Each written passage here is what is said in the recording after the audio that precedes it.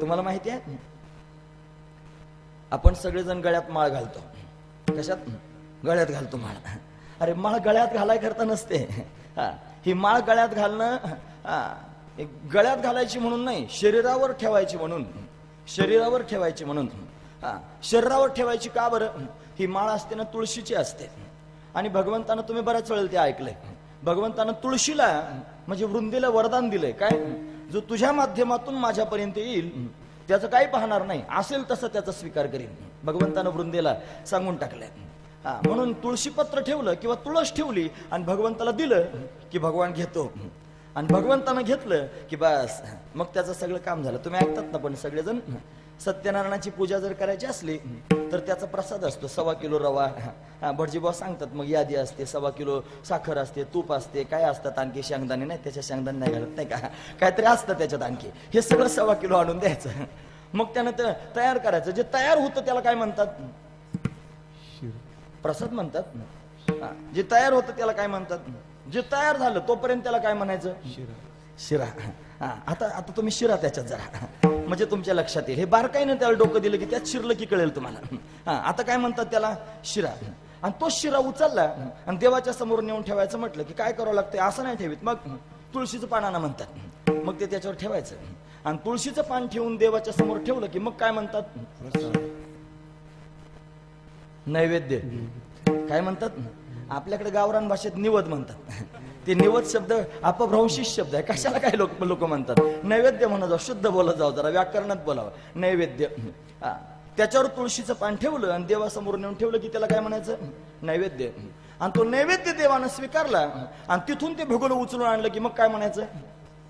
प्रसाद. तुम्ही ऐकतात? शिरा नैवेद्य आणि प्रसाद. हा, का बरं हे सगळं घडलं असेल? तुळशीच्या पानामुळं. एक तुळस ठेवली की ते कोणाचं झालं? देवाचं. आणि जे देवाचं होतं त्याला काय म्हणतात? प्रसाद. पण माळ घातल्यानंतर उरलेलं आयुष्य. कोणाचं असतंय? ही माळ घालायची म्हणजे काय करायचं? या शरीरावर तुळस ठेवायची. आणि तुळस ठेवून देवाच्या समोर जायचं. देवा तुळस ठेवून आलोय. माझा स्वीकार कर. आजपासून मी ह भ प. बस. बस. आपण ह भ प. हा, आता मागे पाहायचं नाही. देवाचाच. तुम्ही मला सांगा किती ह भ इमानदार आहेत? माझं बोलणं जड जातं ना जरा. जाऊ दे जड जे होईल ते होईल. हा. पुढच्या वर्षी बोलवायचे नाहीत हे लोक. आत्माराम म्हणतील नको येऊ पुढच्या वर्षी जायला. हा. तू काही पण बोलतो. मला सांगा ना तुम्ही. हा किती हब इमानदार आहेत की देवाला दिलंय सगळं. शरीर सगळं सर्वस्व देवाला दिलंय. आणि पुन्हा त्यांनी संसारगड पाहिलं नाही. देवाचेच झाले. किती लोक असे आहेत? नाही महाराज फक्त देण्याचं नाटक चालू आहे. देवाकडे कोणी पाहत नाही. देवाकरिता कोणी जगत नाही. हा, कटू वाटतं माझं बोलणं. ते कटू असू द्या. आमच्या हातात ते शस्त्र आहेत आम्हा घरी धन शब्दांचीच रत्ने आणि शब्दांचीच शस्त्र यत्न करू. भांड भांडवल आहे आमच्याकडे शब्दाचं. भांडण करण्याकरिता शब्दाचं. आमच्या जीवीचे जीवन शब्द वाटू धन जन लोकात. हे शब्दच आहेत जे माणसाला त्या ठिकाणी हलवून जाग करतात अरे हा भगवंताच्या समोर जर जायचं असेल भगवंतानं आपला स्वीकार करावा असं वाटत असेल तर काय केलं पाहिजे? तुळस ठेवली पाहिजे. आणि मग गेलं काही लोक परागंदा होऊन जात होते जुने लोक परागंदा. परागंदा कळतं का तुम्हाला? विठ्ठलपंत विठ्ठल पंत परागंदा होऊन गेले होते. म्हणतात परागंदा होणारा मनुष्य संसारावर तुळशीपत्र ठेवून जातो. हा सरळ सरळ शब्द आहे. म्हणे नाही करायचं मला संसार याच्यावर तुळशीपत्रच ठेवून देतो. असं त्या ठिकाणी म्हणतात. तुळशीपत्र ठेवणं म्हणजे सगळंचे सगळं सोडून देणं. हा, देऊन टाकणं हा त्याचा अर्थ होतो. शरीरावर तुळस ठेवणं म्हणजे शरीर देवाला देऊन टाकणं असं होतं.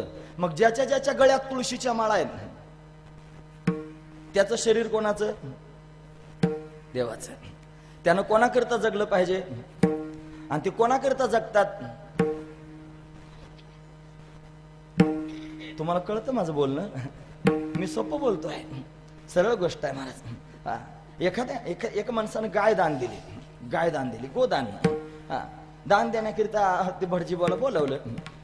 चांगली गाय होती काय खराब नव्हती. लोक मरतुकडी गाय देतात बऱ्याच वेळेला. त्यानं चांगली दिली होती. चांगली गाय दिली वासरू होतं एक बादली दिली. तिच्या गळ्यातलं त्या ठिकाणी ती साखळी दिली सगळं काय दिलं. हा खुरा काय दिला पोतभर? सगळं काय दिलं म्हणे गाय दान करायची. मग ते शिपूट हातात घेतलं गायचं. दान देण्याची पद्धत आहे. शिपूट हातात घेतलं ते ब्राह्मणाच्या हातात दिलं. मग मंत्र म्हणून त्यांनी गाय दान दिलं. गाय दान दिल्यानंतर तो ब्राह्मण घेऊन गेला. आणि घेऊन गेल्यानंतर त्या ठिकाणी महाराज दिवसभर त्यानं गायला खुराक घातला सगळं काय केलं सगळं काय झालं संध्याकाळच्या वेळेला हा तिथे गेला. आणि लगेच गायची धार काढायला बसला. ज्यानं दान दिलं तो. ज्यानं दान दिलं ना तो. हा, आणि दूध काढायला बसला गायची धार काढायला लागला. ती धार काढायला लागल्यावर ब्राह्मण पळत आहे म्हणला काय करतोय मला धार काढतोय.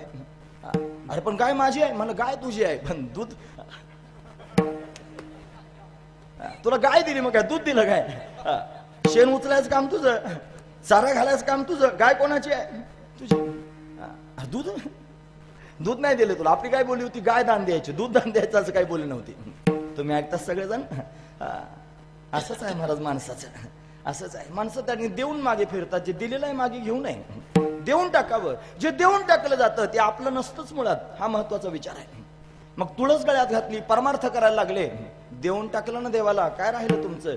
हे देऊन टाकणंच महत्वाचं आहे. हा ज्या वेळेला देऊन टाकलं जातं त्यावेळेला हे त्याचं होत असतं. मग त्याच्यावर आपला अधिकार राहत नाही.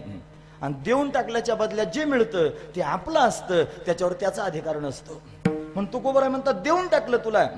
माझं मस्तक माझी डोई तुला देऊन टाकली. त्याच्या बदल्यात तुझे पाय मला त्या ठिकाणी घेऊन टाकले. माझे पाय आता पाय कोणाचे आहेत? माझे. आणि डोई कोणाची आहे? तुझी. आता डोई जर त्याची झाली म्हणजे सगळं शरीर सुद्धा त्याच झालं. मग शरीराला जर जगवायचं असेल तर काय करावं लागतं? वाऱ्याकडे तोंड करायचं आ करून भरायचा असं होतं का? शरीर जर टिकवायचं असेल तर वाऱ्याकडे तोंड करून नाही जगता येत मग खायला लागतात ना भाकरी. शरीर कोणाचं झालं आता? देवाचं. भाकरी कोणी द्यायच्या? सरळ गोष्ट आहे. मग देऊन तर बघा. अरे त्याला देऊन बघा ना. काय होतं ते? भाकरी पण आणून देईल. हा, त्याची झाल्यानंतर काय गोष्ट आहे? मला शरीरच जर त्याचं झालं समर्पण त्याच्यासमोर केलं भाकरी खाऊ घालील. थंडी वाजायला लागली कपडे अंगावर नकोत का? अवनी अन्न वस्त्र निवारा सगळ्या गोष्टीची गरज पडते. गार लागायला लागलं कपडे पण देईल. कपड्याची चिंता करतो. अन्न आच्छादने चिंता. वृथा कुरवंती वैष्णवा. वैष्णवाला अन्न आच्छादनाची चिंता नसते. त्याला निवारा देतो. त्याला वस्त्र देतो. त्याला अन्न देतो. तो अनन्य होतो म्हणून. अनन्यशंतयंतो माम. ए जना पर्युपासते तेशाम नित्याभियुक्तानाम योगक्षेम वहाम्यहम त्याचा योगक्षेम मी चालवतो. भगवान स्वतः म्हणतो मी त्याचं सर्व काही चालवतो. भार घातल्याबरोबर काय वारी होऊन येतो? मी सांगतो असं नाही महाराज सांगतात हे तुका म्हणे भार घातल्यावरी.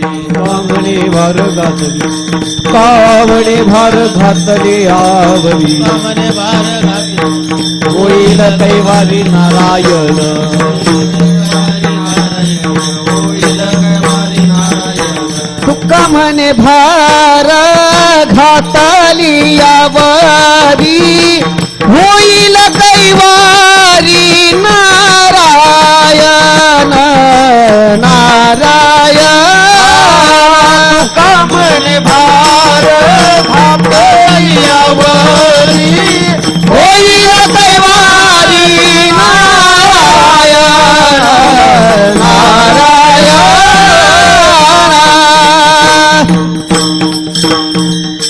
भगवंतावर सगळा भार घातला. की भगवान कैवारी होतो? आणि तो कैवारी झाला की मग खाणं पिणं पोहोचवतो. कपडे लत्ते पोहोचवतो. राहण्या सहाण्याची सोय करतो.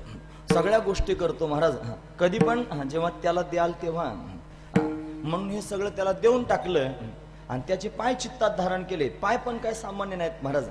ते पाय त्या ठिकाणी आनंदाचा डोह आहे. ते आनंदाचा सागर आहे. आनंदाचा समुद्र आहे. त्याचे चरण म्हणजे आनंदाचं घर आहे. जिथे आनंद राहतो त्याचं नाव आहे चरण. भगवंताचे चरण जे अतिशय सुंदर आहेत. त्या चरणांमध्ये त्यांनी जर स्थिर झालात तर मग दुःखाचा लवलेशही लागणार नाही. भगवंताच्या चरणाच्या आश्रयाला जो राहतो हा तो त्यांनी सुखी होतो. त्याच्यासारखं सुख जगात दुसरं कोणाचंच नाही. म्हणून तर त्या ठिकाणी भगवंताचे चरण प्राप्त झाले की सुख प्राप्त होईल. आणि स्वतःची काही चिंता करायची गरज पडणार नाही कारण हे त्याचं झालेलं असेल आणि ते आपलं झालेलं असेल. मग तुम्ही बघा माझे पाय तुझी डोई आयसे करेगा भाग दे. तू बराय म्हणतात देवाच्या समोर असं देवा करून टाकतो आता. माझे पाय आणि तुझी डोई